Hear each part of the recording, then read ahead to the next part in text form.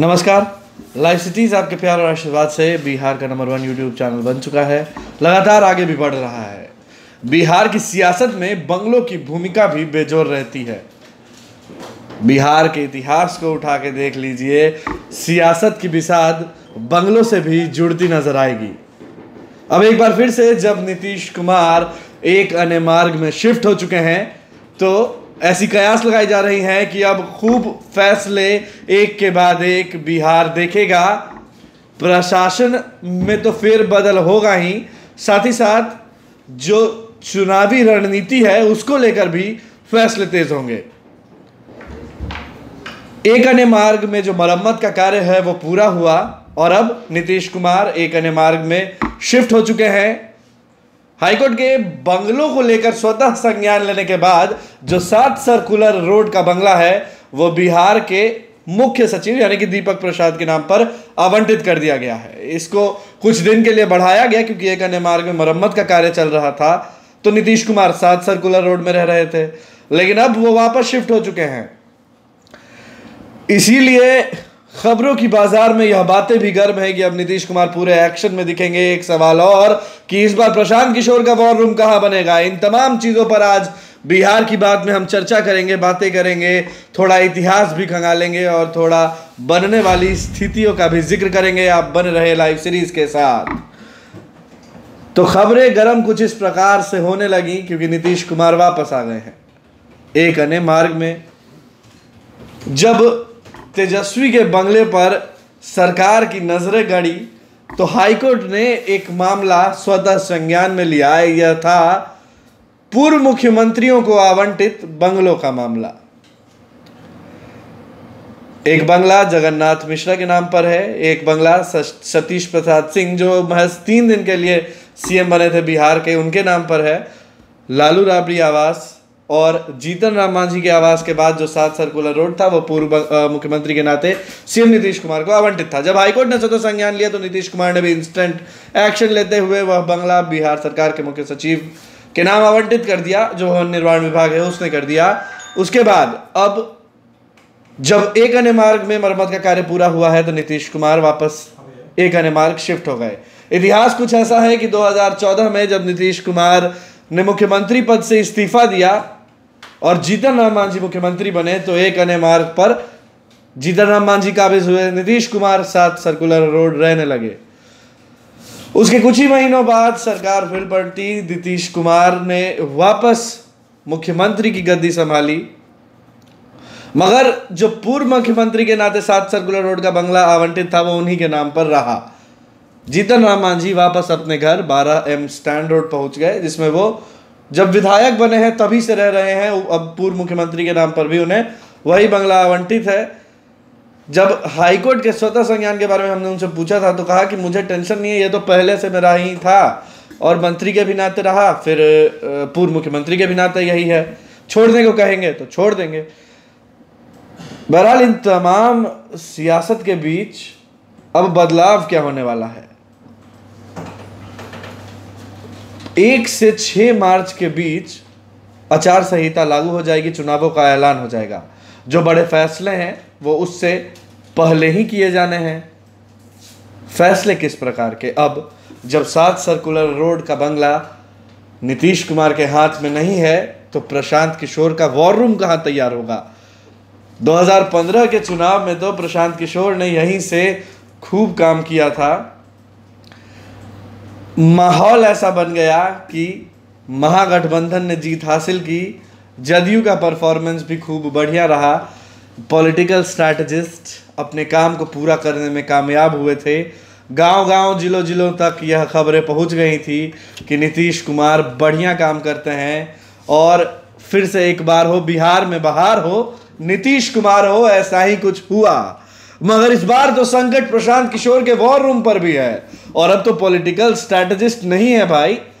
जदयू के राष्ट्रीय उपाध्यक्ष हैं, जदयू के भीतर हैं तो मसला भी पहले जैसा नहीं है। अब तो जदयू का जो प्रॉपर्टी है, अधिकार है, कार्यालय, उसमें उनका चेंबर बन सकता है, मिल सकता है, लेकिन अलग से वॉर रूम जो वो स्ट्रैटेजिस्ट के नाते हासिल किया करते थे, मुश्किल आ गई है उस पर। अभी तक सात सर्कुलर रोड में बैठकर प्रशांत किशोर बखूबी युवाओं से मीटिंग ले रहे थे, जिलों की टीम से मीटिंग ले रहे थे, हर किसी को टाइम दे रहे थे। टीम प्रशांत किशोर का निर्माण किया गया था। लोग उनके नंबर पर कॉल करके उनसे जुड़ते थे। उसके बाद वापस कॉल बैक आता था और एक समय दिया जाता था जब जदयू के राष्ट्रीय उपाध्यक्ष प्रशांत किशोर उनसे मिला करते थे। अब टीम प्रशांत किशोर का यह काम कैसे चलेगा? कैसे वो मीटिंग्स होंगी जिसमें उनका मोटिव पूरा हो रहा था जिलों जिलों में गाँव गाँव में, तहसील लेवल पर लोगों से जुड़ने का, उन्हें नेता बनाने का, उन्हें राजनीति में सक्रिय रूप से लाने का। मकसद सिर्फ़ एक था कि जदयू बेहतर परफॉर्मेंस करे और आगे भी कुर्सी पर काबिज रहे। अमित शाह के कहने पर प्रशांत किशोर को अहम ज़िम्मेदारी तो दे दी, अब उस ज़िम्मेदारी को पूरा करने के लिए जगह की भी आवश्यकता होगी ये तो बात हुई जदयू के उपाध्यक्ष और स्ट्रेटेजिस्ट प्रशांत किशोर के प्लानिंग की, जो नए डिजिटल तरीके के बैनर्स पोस्टर्स वो लगाया करते थे पूरे बिहार में डिज़ाइन किया करते थे सीडीज बनाई जाती थी, चीज़ों का ब्रांडिंग किया जाता था साइकिल पर जदयू के तीर का निशान नज़र आता था। गाँव गाँव तक लोग उस पर अवेयरनेस फैलाते थे। डिजिटली तो यह सब चल ही रहा है। लोगों से भी पूछा जा रहा है, क्या आप फेसबुक ट्विटर पर एक्टिव है या नहीं? प्रशांत किशोर तो यह भी कहते हैं कि अपनी आवाज़ को बुलंद करना हो तो ट्विटर के हैशटैग का माध्यम इस्तेमाल करिए। अब मुश्किल प्रशांत किशोर के वॉर रूम पर भी है कि आखिर कहाँ वो बनता है या किसी अलग जगह को हायर कर उनकी टीम को बिठाया जाता है। नीतीश कुमार क्या करेंगे? नेताओं की फौज तैयार करेंगे, जो जगह जगह जाकर मोटिवेट करेंगे, प्रोत्साहित करेंगे और उन बातों को फैलाएँगे, जो काम नीतीश कुमार ने किया। महागठबंधन एक्टिव है। रालोसपा एनडीए को छोड़कर महागठबंधन में शामिल हो चुकी है सन ऑफ़ मल्लाह मुकेश सहनी भी दामन थाम चुके हैं। उधर तो प्लानिंग चली रही है। प्लानिंग इधर भी करनी बहुत ज़रूरी है। बहुत मज़बूत करनी ज़रूरी है, क्योंकि इस बार मोदी महारहर थोड़ा कमज़ोर तो हो ही चुका है। पर नीतीश कुमार साथ हैं। देखना होगा कि सुशासन बाबू, जो कभी सुशासन बाबू कहलाते थे, उनका जलवा अब चल पाता है या नहीं? एक दौर और बचा है। बचा है ट्रांसफ़र पोस्टिंग्स का दौर। इसमें सबसे बड़ा फैसला होना है बिहार के डीजीपी को लेकर। कानून व्यवस्था, चुनावों के जो फैसले होते हैं, चुनावों के जो रिज़ल्ट होते हैं उस पर बहुत असर करती है। 31 जनवरी को डीजीपी केस द्विवेदी का कार्यकाल समाप्त हो रहा है। असमंजस की स्थिति बिहार में इस बात को भी लेकर है कि अगले डीजीपी कौन बनने जा रहे हैं। लेकिन खबरें यह भी आ रही हैं कि डीजीपी केस द्विवेदी को छह महीने का एक्सटेंशन देकर आगे बढ़ाया जा सकता है उनके कार्यकाल को, क्योंकि चुनाव आने हैं, उससे पहले का बदलाव और उस बदलाव में सेटल होने में वक्त लगेगा और अब मार्च तक तो ऐलान हो जाएगा आचार संहिता का, बहुत कम वक्त बचेगा, फैसले हो नहीं पाएँगे। तो हो सकता है कि एक्सटेंशन मिल जाए कार्यकाल को, आगे बढ़ा दिया जाए, क्योंकि के एस द्विवेदी का कार्यकाल अब खत्म होने वाला है, उन्हें एक्सपीरियंस है और उन्हीं के अंडर में चुनाव हो तो ठीक होगा, ऐसा कहीं ना कहीं एक प्रोस्पेक्टिव बना है तो बातें आ रही हैं कि उनके उनको एक्सटेंशन देकर कार्यकाल आगे बढ़ाया जाए। दूसरी ओर केंद्र में दस परसेंट सवर्णों को आरक्षण लागू हुआ। बिहार में भी लागू होना है। नीतीश कुमार कह चुके हैं कि जो कानूनी दाव पेच हैं उन पर हमारी पार्टियाँ हमारी पार्टी चर्चा कर रही है और जल्द ही उसे बिहार में भी लागू कर, कर दिया जाएगा। लेकिन एक से छह मार्च तक जो ऐलान होने हैं उससे पहले हो पाना ज़रूरी है। एक बार आचार संहिता लग गई तो आप ऐसे फैसले नहीं कर पाएँगे। ट्रांसफ़र पोस्टिंग्स और भी हैं जो बीपीएससी से पुलिस वाले आईपीएस बने हैं, उन्हें भी पोस्टिंग्स देनी है, उन्हें भी जगह जगह पर सेटल करना है और अब जब चुनाव नज़दीक है तो कहीं ना कहीं यह सारी पोस्टिंग्स चुनाव को ध्यान में रखते हुए होंगी। डीएम एसपी एसडीओ तमाम जो विभाग के लोग हैं, उनके भी ट्रांसफ़र पोस्टिंग्स का एक दौर चलेगा। सबको प्रायोरिटीज के हिसाब से पोस्टिंग्स दी जाएँगी और चुनाव निष्पक्षता से कराने की भी एक बहुत बड़ी ज़िम्मेदारी है, जिसको लेकर के अभी चुनाव आयोग जब पटना पहुँचा, बिहार भर में दौरा किया और उसके बाद उस मीटिंग्स के आधार पर यह आदेश जारी किया गया है कि वीवीपैट का भी इस्तेमाल हो, बिहारी नहीं बल्कि पूरे देश में, और चुनाव बेहद ही निष्पक्षता के साथ हो। जो सी थे चीफ इलेक्टोरल कमिश्नर उन्होंने कहा कि ईवीएम को फुटबॉल ना बनाया जाए। यानी कि जब नतीजे प्रतिकूल नहीं होते हैं तो सारा आरोप ईवीएम पर लगा दिया जाता है। इसको लेकर के उन्होंने दावा किया कि ईवीएम सही काम कर रही है। आपके लिए जागरूकता फैलाने के लिए भी कई सारी टीमें बनाई गई हैं। कहा गया है कि मतदान ज़रूर करें। अपने विचारधारा, अपने नेता, अपने लोग किसी भी आधार पर, मगर अपने मत की शक्ति का प्रयोग करें। जो वोटिंग बूथ से उन पर जाएँ, अपने अनुसार जो पार्टी पसंद आए, उसका बटन दबाएँ, इससे लोकतंत्र मज़बूत होगा। कोई दिक्कतें आती हैं, इसको लेकर आप कंप्लेंट्स भी कर सकते हैं। हर तरह की व्यवस्था है, अब तो ज़माना डिजिटल है।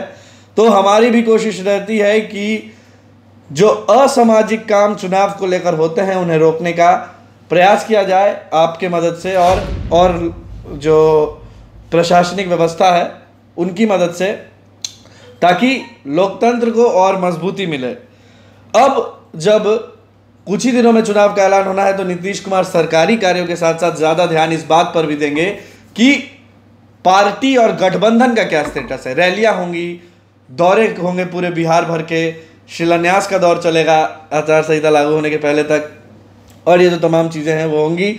सरकारी काम से ज़्यादा पॉलिटिकल काम, क्योंकि सत्रह सत्रह छः का फॉर्मूला तो तय हो गया है, भाजपा, जदयू, सत्रह सत्रह लोजपा छः, मगर किस सीट पर कौन? अभी ये तय नहीं हुआ है, ये तय करना अभी वक्त रहते बहुत ज़रूरी है, कहीं ना कहीं महागठबंधन का भी इंतज़ार हो रहा है। अब तो रैलियाँ भी होनी है।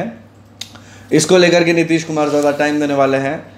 और इसीलिए हम कह रहे हैं कि जब एक कहने में शिफ्ट हुए हैं तो बिहार में बवाल भी होंगे। बवाल किस बात के? राजनीतिक फैसलों के। जेडीयू अब एक्शन मोड में नज़र आता एक्शन मोड में नज़र आता दिख रहा है।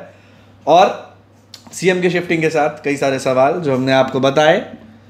आप भी इस लोकतंत्र के साथ जुड़े रहें, उसे और मज़बूत बनाएँ, अपनी मत की शक्ति का प्रयोग करें।